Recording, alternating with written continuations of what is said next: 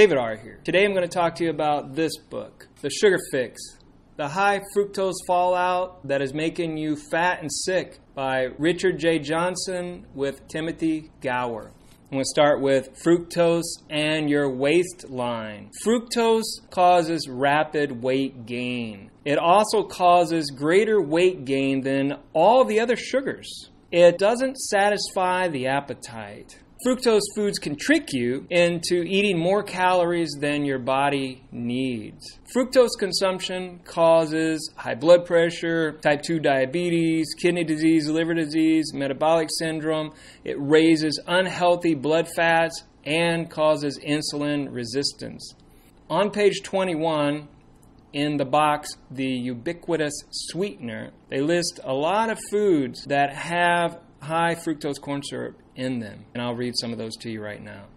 Asian style sauces, baby foods, bacon, beer, biscuits, bologna, brandy, breads and rolls, breakfast cereals, breakfast meats, crackers, diet foods, donuts, dried meats, gravies, ham, hot dogs, ice cream or milk, and the list goes on.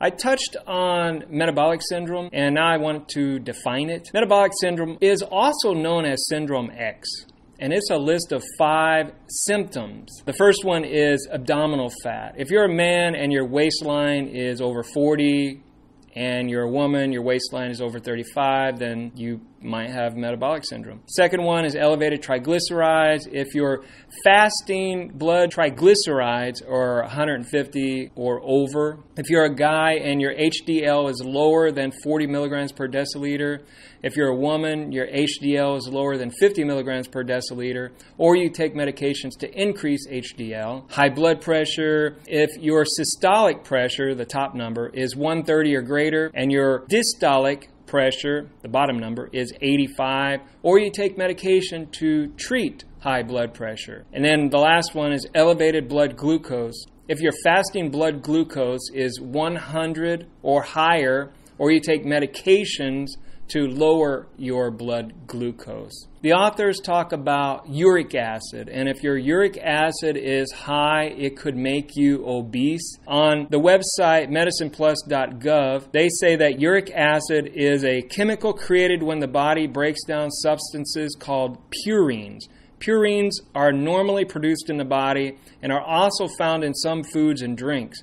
Foods with high content of purines include liver, anchovies, mackerel, dried beans, peas, and beer. Most uric acid is excreted, but some of it builds up and it can make you very, very sick. The other trouble with fructose, that's another section in this book. They talk about the ailments associated with too much fructose in your diet. One is accelerated aging, elevated uric acid, upset stomach, malabsorption, cancer, vision problems, the authors suggest a two week phase for breaking free from fructose. In option one, you can choose from a long list of foods. Foods to choose during the fructose free phase alfalfa sprouts, artichokes, asparagus, cabbage, cauliflower, celery, sauerkraut, spinach, yams, breads and pasta, which I don't recommend, but they do here, English muffin, pasta, all varieties. There are grains, meat and poultry like beef, chicken, lamb, pork, turkey, fish, breakfast cereals, nuts and seeds, condiments, dairy, fats and oils, etc.